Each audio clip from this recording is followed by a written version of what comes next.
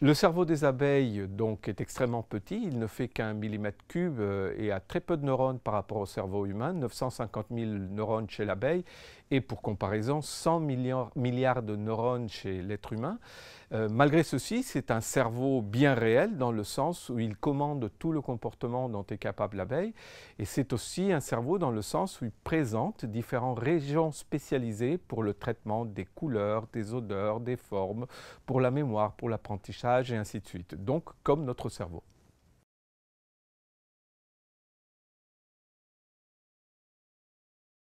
Les abeilles apprennent et mémorisent et de façon excellente puisqu'en fait il faut savoir que toute l'activité de butinage dont dépend la survie individuelle et la survie de la colonie comme un tout, toute cette activité repose sur les capacités à apprendre et mémoriser. En effet, une abeille butineuse revient constamment vers la même fleur qu'elle exploite et ceci parce qu'elle est capable d'apprendre et mémoriser les informations de couleur, les informations d'odeur, la position dans l'espace de l'espèce exploitée et elle reste fidèle à cette cette fleur qu'elle a appris et mémorisée tant que cette fleur reste profitable en termes de son offre de nectar et pollen. Donc, elles apprennent et mémorisent de façon spectaculaire des mémoires qui peuvent durer même la vie entière d'une abeille, deux à trois semaines de vie, si effectivement d'autres informations ne viennent pas euh, quelque part prendre le devant par rapport à ce qui a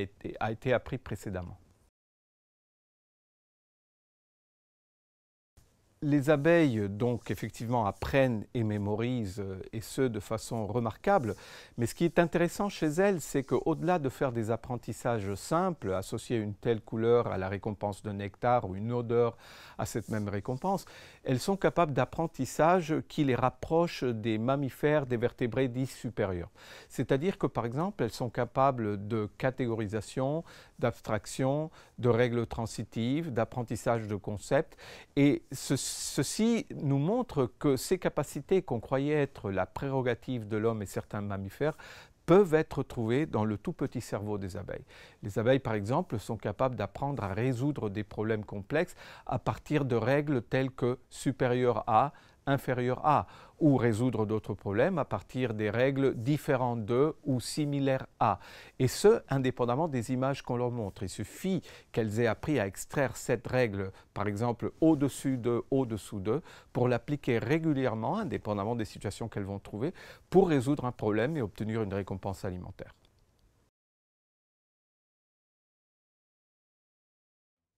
Une capacité particulièrement remarquable chez l'abeille, c'est la capacité appelée de métacognition qu'on trouve chez l'homme et chez certains vertébrés et qui est considérée comme la base de la notion de conscience de soi. Donc par exemple, pour illustrer qu'est-ce que la métacognition, on peut facilement se rappeler de la situation vécue par chacun de nous à la veille d'un examen on sait très bien, à la veille d'un examen, si on est préparé ou non pour cet examen. On est capable de faire une introspection et une évaluation des propres connaissances pour dire je sais, je vais réussir ou je ne sais pas, je ne vais pas réussir. Donc cet exercice introspectif, et c'est ce qu'on appelle la métacognition, la cognition, le savoir sur ce que l'on sait. Et donc, euh, on a pu montrer par des expériences euh, d'entraînement et résolution de problèmes que les abeilles sont capables de métacognition. C'est-à-dire que quand elles sont présentées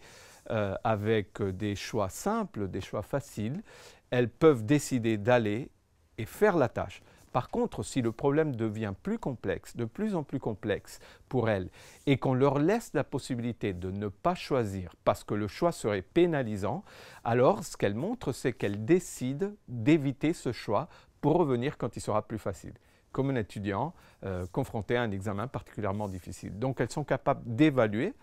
leur connaissance et leur confiance par rapport à la solution de ce problème pour décider d'aller ou de ne pas aller faire ce choix-là. Donc là, c'est une démonstration de métacognition et donc on peut se poser la question, est-ce que les abeilles ont une conscience de soi à partir de cette expérience? Cet indice existant nous montrerait qu'il y a une certaine base pour ceci, mais il faut creuser beaucoup plus pour aller déclarer que les abeilles ont une conscience de soi. Mais c'est en ça que l'abeille est fascinante, parce qu'elle regroupe tous ces niveaux de complexité dans un tout petit cerveau que nous pouvons par ailleurs explorer euh, avec des outils nécessaires pour rentrer dans les mécanismes qui sous-tendent ces capacités.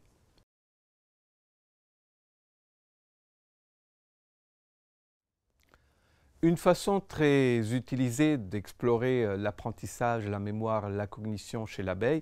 est d'essayer de comprendre comment se passe l'apprentissage olfactif. Les abeilles, c'est bien connu, elles apprennent très rapidement à associer des odeurs avec une récompense de nectar. Et dans le laboratoire, on peut reproduire cette situation chez des abeilles qui sont immobilisées, euh, mais affamées, et qui donc très rapidement vont associer une odeur qui est envoyée vers leurs antennes, leurs organes récepteurs olfactifs, avec une gouttelette d'eau sucrée qu'ils leur est donnée par la suite. Donc la réponse qu'elle montre donc à l'eau sucrée est typiquement une réponse appétitive, c'est-à-dire qui montre leur désir d'avoir cette récompense alimentaire, qui est l'extension de la langue dite aussi proboscis. Donc une abeille affamée euh, qui rentre en contact avec la solution sucrée étire la langue très rapidement, ce qui montre qu'elle veut justement euh, atteindre cette récompense alimentaire. Ce qu'on fait dans cette expérience où elles sont immobilisées, on passe une odeur et juste après, on donne la récompense alimentaire. L'abeille crée de cette façon-là une nouvelle association entre odeurs qui anticipe euh, la récompense alimentaire, de sorte que par la suite, quand elle aura l'odeur toute seule, elle va étirer la langue pour montrer justement que pour elle, pour elle odeur veut dire récompense alimentaire. Donc la manifestation concrète d'un nouvel apprentissage. Et effectivement, donc ces apprentissages peuvent être retenus pendant longtemps. Euh, un apprentissage donc acquis dans ces conditions-là peut être maintenu pendant des jours euh, si l'abeille a formé une mémoire à long terme de cette odeur. Et ce qui est intéressant particulièrement de cette situation, c'est que par le fait que l'abeille ne bouge pas, elle est immobilisée dans un tube euh, et juste ses antennes et ses pièces buccales peuvent bouger, on peut aller avec des outils que nous avons développés explorer les réseaux de neurones donc, qui sous-tendent cette capacité à associer odeur et récompense de sucre. On peut identifier les circuits de l'odeur, on peut identifier les circuits du sucre, on peut voir où et comment dans le cerveau ces deux circuits interagissent pour former des associations, pour créer des mémoires. Et on peut voir surtout comment ces circuits vont changer la plasticité de ce cerveau suite à la formation de la mémoire. Donc, on parle d'expériences où les abeilles sont immobilisées et qui nous permettent donc d'accéder aux circuits fins du cerveau qui sous-tendent les capacités d'intérêt. Donc c'était véritablement un avantage de pouvoir faire ceci, mais parfois on peut se dire qu'est-ce que je perds en étudiant l'apprentissage et la mémoire chez un, animal, chez un animal qui est immobilisé? On perd effectivement la richesse du mouvement, la possibilité euh, d'exprimer ouvertement certaines capacités. Donc de ce fait, ces recherches se font en parallèle avec d'autres recherches qui cherchent en quelque sorte à exploiter tout ce que l'animal peut faire en liberté. Une des façons de le faire, c'est justement entraîner des abeilles à résoudre des problèmes complexes dans des labyrinthes plus ou moins complexes où elles sont soumises à des choix consécutifs qui vont nous montrer jusqu'à quel point elles utilisent des stratégies élaborées pour résoudre ces problèmes.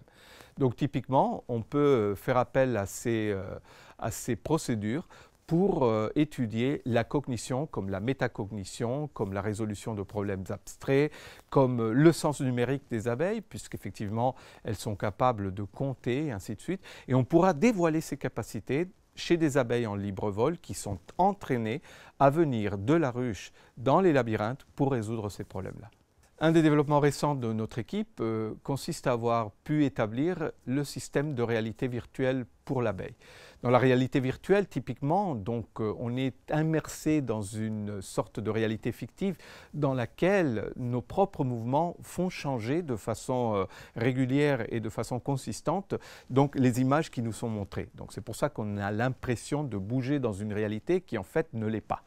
Donc on a pu concevoir un système équivalent chez une abeille qui n'est pas contrainte et qui marche constamment sur un point fixe de l'espace, c'est-à-dire c'est une boule flottante sur un coussin d'air, donc elle marche constamment sur le même point alors qu'elle a l'impression de marcher, de tourner à droite ou à gauche, mais elle est toujours sur le même point. Et les images qui sont projetées en face de cette abeille sont couplées à ses propres mouvements, de sorte que ces images vont aller vers la gauche si l'abeille va vers la droite et vice-versa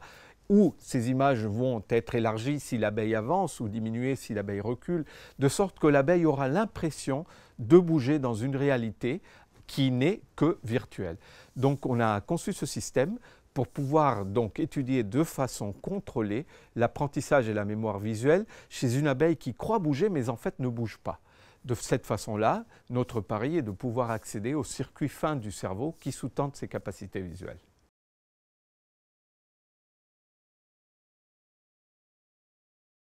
L'intérêt de l'abeille en tant qu'outil de recherche fondamentale pour comprendre le cerveau, la cognition, l'apprentissage et la mémoire ne doit pas négliger le fait que ces petits cerveaux sont dans un environnement naturel qui est exposé à des produits qui ont suscité dernièrement un grand débat, comme des produits pesticides, des agrochimiques, etc. Donc une question fondamentale qui doit être répondue aussi par euh, nos recherches est jusqu'à quel point ces produits euh, chimiques que nous appliquons parfois de façon indiscriminée dans l'environnement affectent ou non ces petits cerveaux. Effectivement, donc euh, pour nous, il est extrêmement important d'aborder ce débat par l'étude de l'impact de ces molécules chimiques sur la connectivité fine du cerveau, par l'impact sur le fonctionnement des neurones, euh, sur donc les capacités à apprendre et mémoriser. Les résultats que nous avons indiquent donc que ces molécules ont un impact non négligeable, même très très important sur l'organisation des circuits neuraux, sur la connectique qui est responsable de l'apprentissage et la mémoire, ce qui explique que parfois ces individus testés par la suite dans des protocoles d'apprentissage et mémoire que nous utilisons régulièrement montrent de déficits extrêmement importants suite à l'application de ces molécules.